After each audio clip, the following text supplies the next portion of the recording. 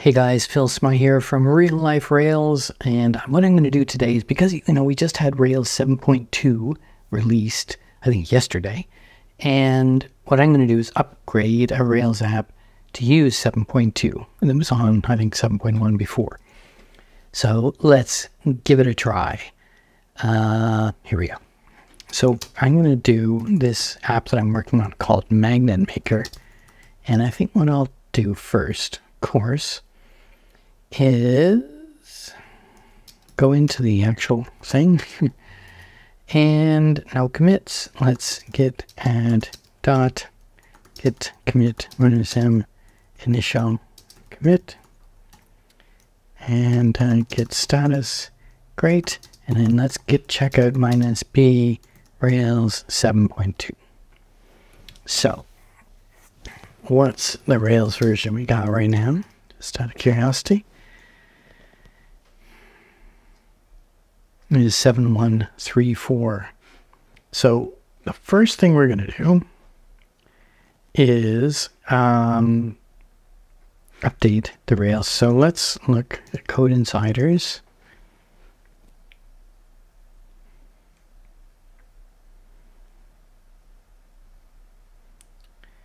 Here we go. And don't say that. Done, done, done, done, done, done. And Let's look at the gem file. You can see we've got Rails that. So let's um, update this to just be green equals to 7.2.0. And let's do the same. And let's do a bundle.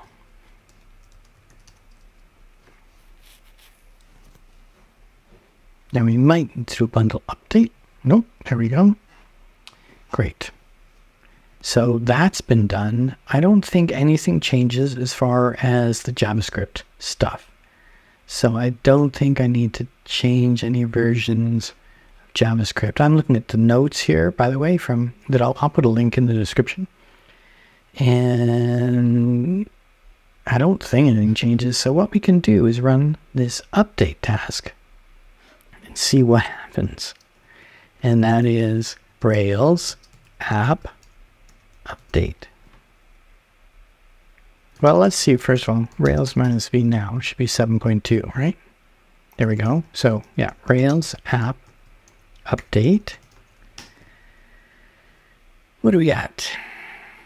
It's going to go through and it wants to change some stuff in the config. Let's see what the differences are. Ah, that's interesting. Okay, we're changing from round brackets to square brackets. Uh, that's fine. I think I can live with that. And now in Puma, I, you know, the number of threads, if you saw in my video before, the number of threads has changed. So yeah, now ma maximum thread count is changed. And where's the plus? Now the thread count is three. The thread count before was five. I'm going to accept this change because I did not change this file myself. So um, if Rails wants to change it, go right ahead. And development, let's see what's different here. Okay. Oh, somebody added a period. Um, somebody decided to put this all in one line. Somebody added a comment. Yeah. Somebody's putting that in. That's interesting. So finally, 20 years later, finally, we're having default URL options in there. That looks like, oh, that's pretty incredible. We're enabling, that's interesting because it looks like it's on by default, but annotate rendered views of file names. And, oh, somebody added a period there. And this thing that I added has been moved, and auto correction by Rubocop has been added. So that all looks fine to me. And production has changed. I haven't put this app into production, so let's take a look there. And SSL options comment, I guess. And this other comment about action mailer. So that looks fine. Test, I'm not even going to look, but well, okay, I'll look. I didn't do anything because I'm not running any tests. It's pretty much the same, just comments and, and periods. Okay. And assets, that's interesting. So it is for removing node module bootstrap icons font. I'm not going to accept this change because I put in bootstrap icons font. So no, do not accept that. Filter parameter logging.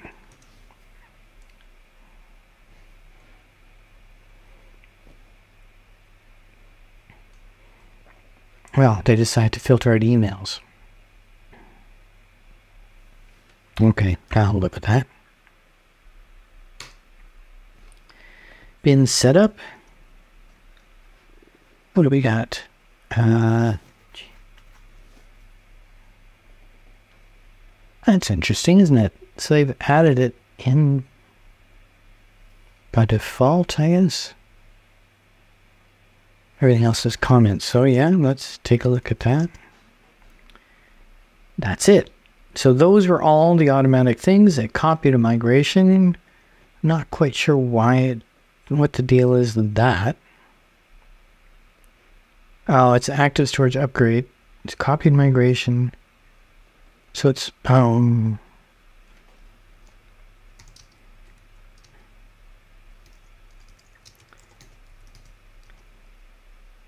Oh, okay.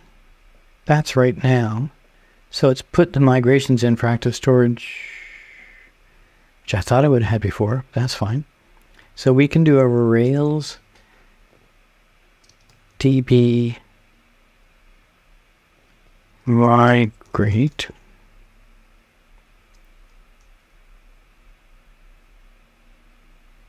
Okay. And then it says to check with the thing I'm already checking. Um, and under the upgrade, I'll bring this file, this page over. Upgrading from Rails 7.1 to 7.2, all tests now respect the active job queue adapter config. Doesn't make a difference to me because I didn't have any tests in this. So in theory, that's it, right? So if I run, is there a proc file in here? Yes proc. Nobody has done that, so foreman minus file proc file dev. Could not find command under bar F.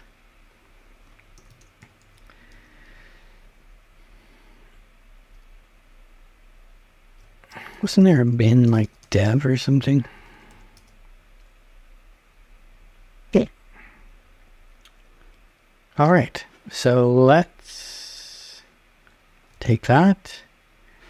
Um, where is that thing? Well, did I close it?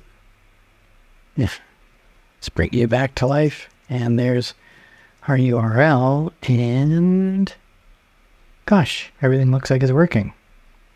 So it looks like, yep, we're running a Rails 7.2 application. So there we go.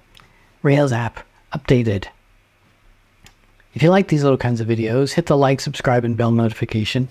If you want some uh, real life Rails merchandise, you can buy t shirts and coffee cups and things like that, which would be greatly appreciated. Thank you. And uh, those should be available down below, or you can go to, I think it's shop.philsmy.com. Uh, anyway, Thanks for watching. Oh, and of course, you know, I've got some great courses on Gumroad and on Thinkific, uh, all covering all different kinds of aspects of Ruby on Rails. So if you're looking for stuff for just as a beginner, or even if you're looking for stuff about using Rails with generative AI, check out those links and they'll be in the description below. Thanks for watching. See you next time.